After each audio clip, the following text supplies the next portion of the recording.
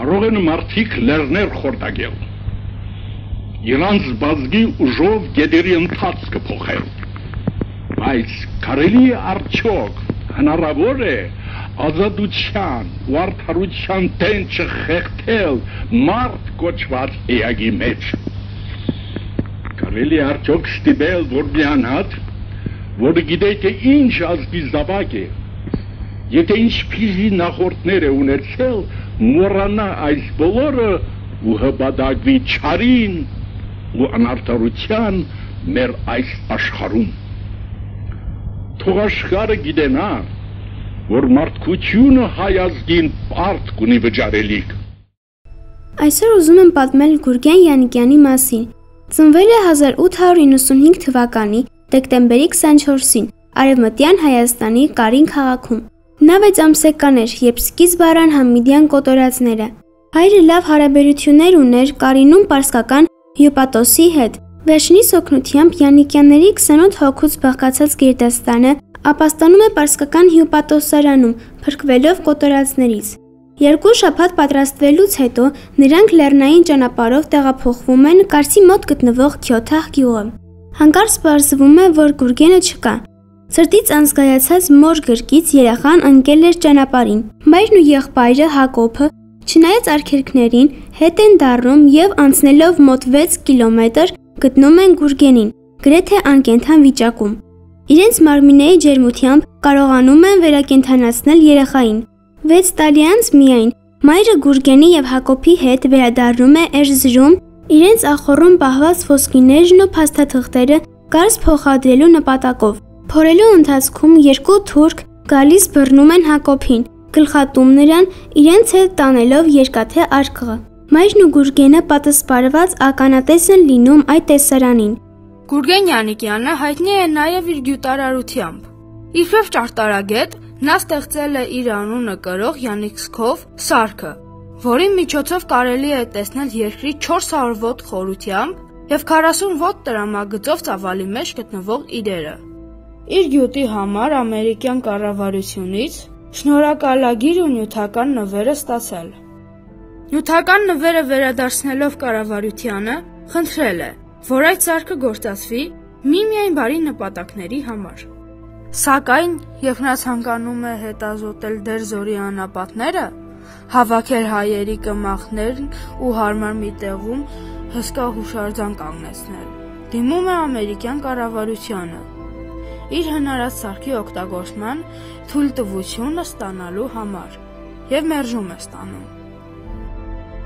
Մի գիշեր նրա աչքի առաջ գալիս է եղբայրը եւ նա վերջնականապես որոշում է անձամբ վերաշխնդիր լինել։ Յանիկյանն ուներ տաշկական մի թղթադրամ, որի վրա արկային թուրք նախկին նախարարների եւ պաշտոնյաների ստորագրությունները։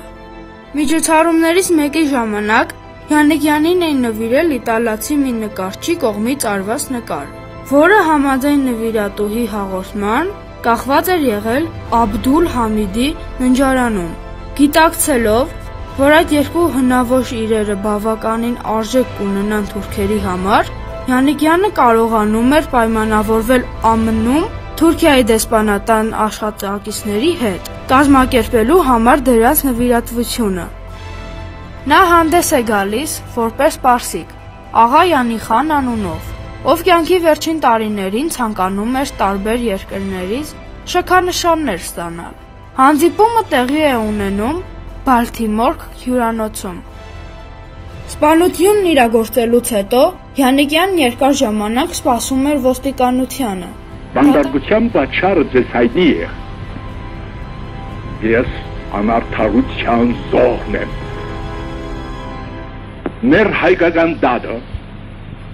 որ ինձ համար մի հասկացողություն ունի, մեզանից գողացված ու թուրքին նվիրած մեր հայրենական հողերը հետ ստանալ մեր ազգի համար եւ ստանալ թուրքից մեր ազգին հաստրած մասների վճարումը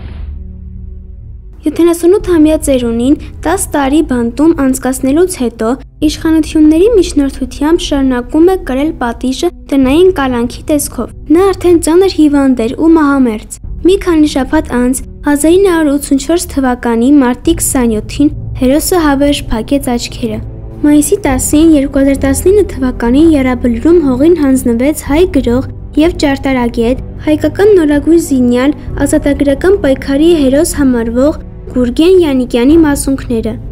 Նրա աճյունը Երևանը տեղափոխվեր Ամերիկայի Միացյալ Նահանգներից։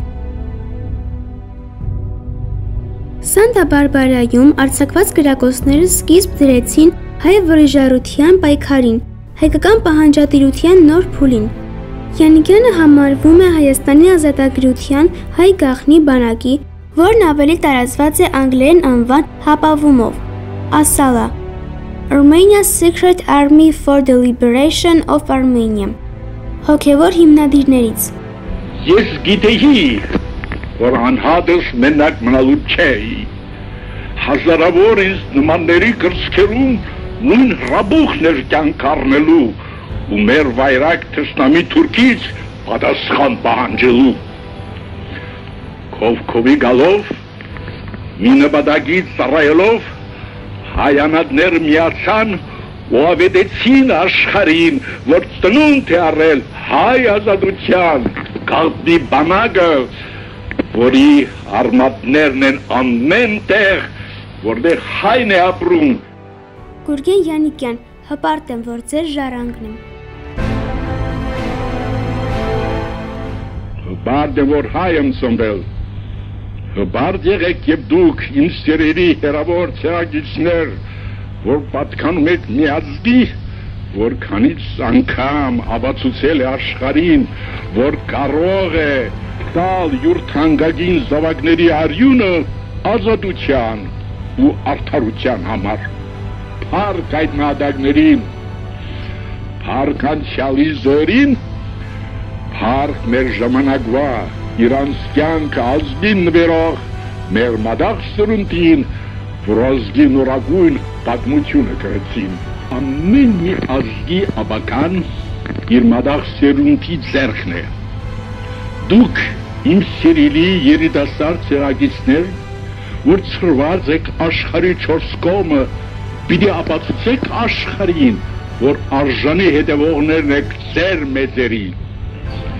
Այն մեծերին, որոնք դեն շպրտելով ամեն ինչ ու զոհելով իրանց կյանքերը բարձրացին ազատության դրոշը ու ավետեցին աշխարհին, որ մարդկությանը որ հադուցման ժամը հասել է։